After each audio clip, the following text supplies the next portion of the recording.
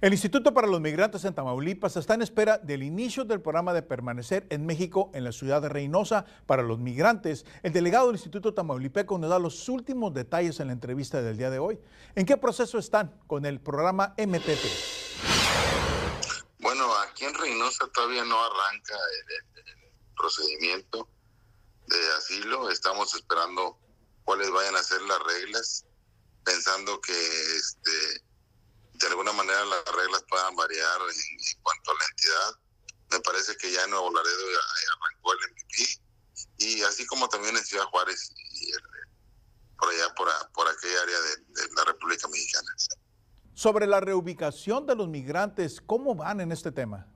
Bueno, se inició la construcción de la barda perimetral con recursos, recursos exclusivamente de estas organizaciones no gubernamentales traen un promedio alrededor de 50 mil dólares este, invertidos en, en esta barda perimetral. O con este objetivo se busca poder cambiar a todos estos migrantes que están en hacinamiento en la Plaza de la República, con el apoyo también del, de, del Instituto Nacional de Migración, que es la autoridad que le corresponde.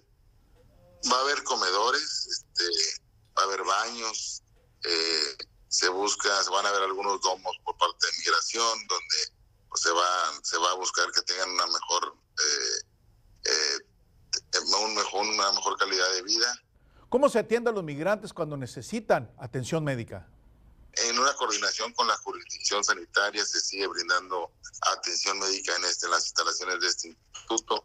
Tenemos una coordinación muy estrecha con las organizaciones no gubernamentales como GRM y Médicos Sin Fronteras, donde todos los días estamos coadyuvando para que se atiendan a estos migrantes en la cuestión médica, el control de embarazos, que, pues, que están en, cinta, ¿verdad? Y que requieren un, una atención médica este, programada para que pues, en su momento cuando den a luz pues no tengan complicaciones. Ricardo Cardelón nos explica que continúa el programa de retorno voluntario para las personas que quieran regresar a su voluntad a su país de origen. A Ricardo Calderón, muchas gracias por la entrevista.